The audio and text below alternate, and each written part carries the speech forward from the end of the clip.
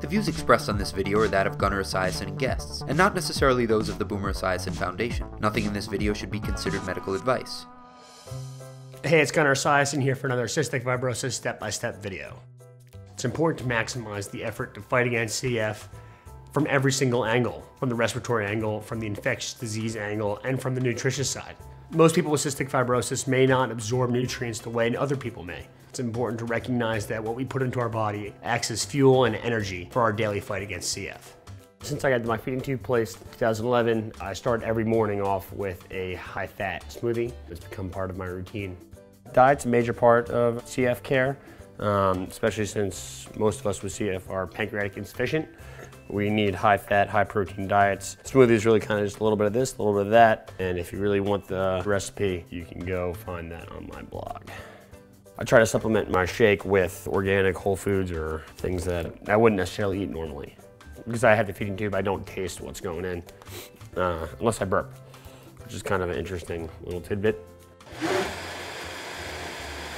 I try to get uh, about 5,000 calories every day. The feeding tube has certainly made that a lot easier to do. Once I had my feeding tube placed, uh, I really saw that change. My energy went up. I had an easier time to fight off infection, to fight off cold, and my overall health really improved. This forms then to feeding tube. I'll do this smoothie in the morning. It's the first thing I do when I wake up, usually. And then I'll do like a protein shake after I go to the gym or whatever. It's important to recognize that the dietitian, a part of every CF care team, will help develop a diet that works for you, your child, or anyone in your family with cystic fibrosis. That's it.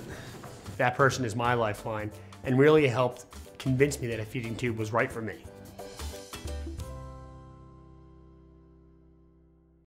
The views expressed on the cystic fibrosis step-by-step with Gunnar Esiason videos are that of Gunnar Esiason and guests, and not necessarily those of the Boomer Esiason Foundation.